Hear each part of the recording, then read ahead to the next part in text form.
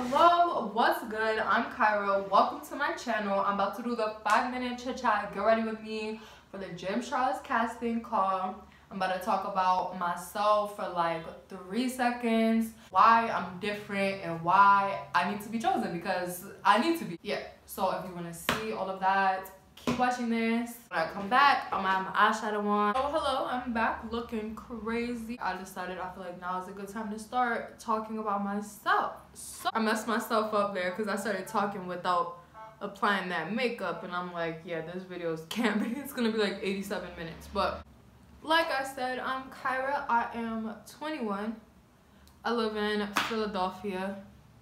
I am a licensed nail technician always loved makeup and beauty as a whole. I remember always wanting to play in makeup, but wow, that's that's that's a lot of concealer under there, but that's fine.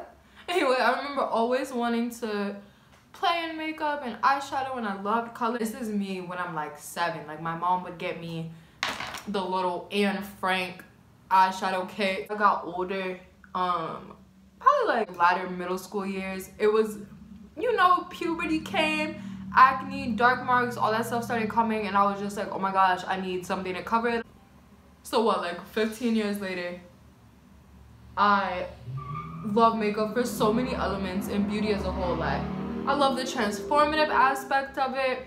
I love the way you feel. I love the boost of confidence I feel like people get, especially when I do it to others.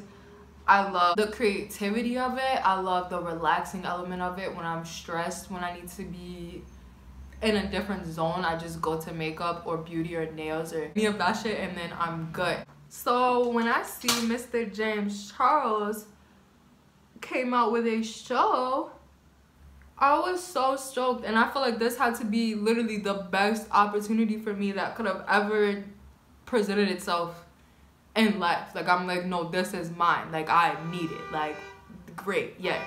And I say that because the things that he said when he was talking about this opportunity, it was more than just the makeup part that got me or oh you win money, like cool, great. But it was the oh you get to learn about business and marketing and you get to learn more about yourself and other people and just like social media as like a whole and like all the things that you would get to learn like that is definitely like what i'm into. That's like yeah cool i know i can do makeup that's great. A lot of people can. A lot of people possess this skill but like what do you want to do with it? Like there's a lot of things that i want to do with it. So speaking of what i want to do with it i feel like my whole niche like what makes me special whatever what i bring to this is completely different. There's a really big tie between mental health and beauty.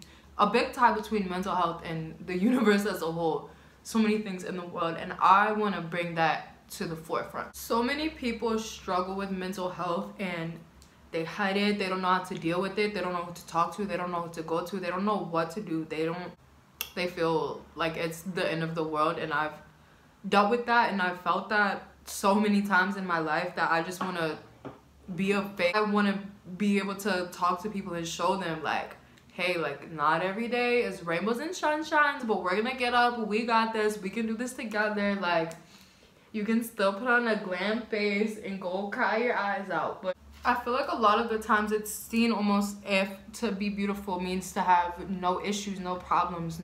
They idolize beauty, they idolize all of that, and then it seems like they're not real people anymore, but that's not the case. And I wanna be the one to show that difference. I still have a great personality. I'll still smile. I'll still be happy. But no, like not every day. Like no, that's not how life works. That I'm sorry.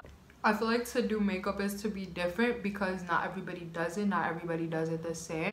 And to have a mental illness, you feel like you are more of an outcast than anybody and more different than anybody. You feel like you don't even belong in this world, but you do. I just want to show that it's okay to be different in a world that makes it feel like everybody has to do the same thing or be on the same level or have the same dreams or take the same path when you don't at all. And just because you're not on the same path as anybody else like it shouldn't feel like you're not doing the right thing.